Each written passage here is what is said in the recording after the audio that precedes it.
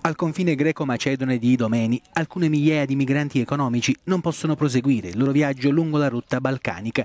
Nasim è iraniana, suo marito Abos è afgano. Lei non può passare la frontiera perché il suo non è un paese in guerra. L'alternativa a dividersi è quella di essere rimpatriati insieme in Iran.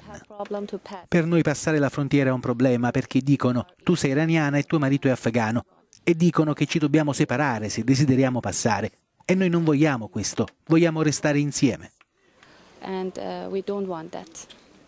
We want to be together. Il governo greco ha chiesto all'Unione Europea l'aiuto di mezzi navali e di personale per la verifica delle richieste d'asilo.